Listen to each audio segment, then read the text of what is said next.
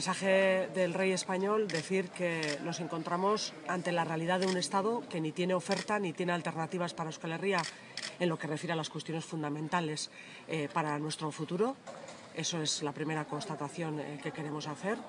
Es un Estado eh, que se nos muestra en cuestiones tan importantes, ya concretando como son el derecho a decidir, como es la paz y la normalización o como son la construcción eh, social y política de Euskal Herria, sin ninguna oferta, dejándonos claro que el futuro en todas estas cuestiones está en nuestras manos, frente a ese mensaje vacío que, como decía, nos muestra un Estado que quiere que quiere mantener eh, la relación, la oferta, eh, si la hubiera, que nos hace en parámetros de sumisión y de dependencia.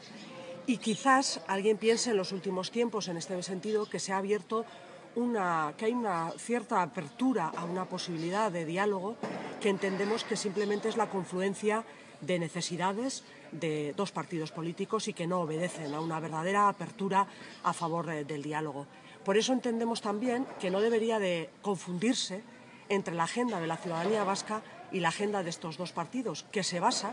la agenda del PP y el Partido Nacionalista Vasco, para que nos entendamos, que se basa de alguna forma en desbloquear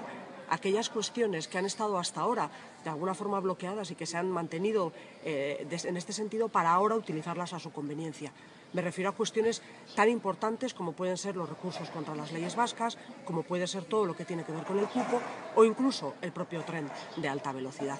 Esta es la realidad eh, ante la que nos encontramos, esta es una realidad ante la que un rey que no nos representa vuelve a darnos un mensaje vacío que no nos ofrece alternativas reales, que nos dice que quiere basar el futuro en lo mismo que el pasado, es decir, en la negación y en la imposición de Euskal Herria, y por tanto entendemos que de alguna forma legitimar esta actuación del Estado por intereses eh, particulares no es de recibo a día de hoy. Entendemos que nos reafirma una vez más en que el futuro está en nuestras manos en que ese futuro se tiene que construir en Euskal Herria, aquí y para los de aquí, y que evidentemente tiene que basarse en el respeto de lo que la mayoría de la ciudadanía diga.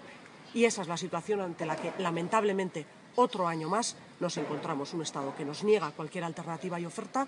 que quiere seguirnos, seguir teniéndonos sumisos y dependientes, y una Euskal Herria que cada vez pide eh, más soluciones, cada vez pide más avances en cuestiones tan importantes como las que he mencionado, tanto el derecho a decidir como la paz y la normalización y también como las cuestiones sociales